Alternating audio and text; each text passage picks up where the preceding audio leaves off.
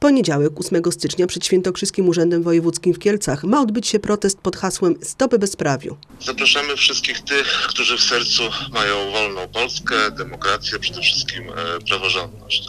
Będziemy pikietować, protestować przeciwko łamaniu prawa, łamaniu demokracji, a także drugim punktem naszej pikiety będzie brak zgody na pakt imigracyjny, który został podpisany w Unii Europejskiej.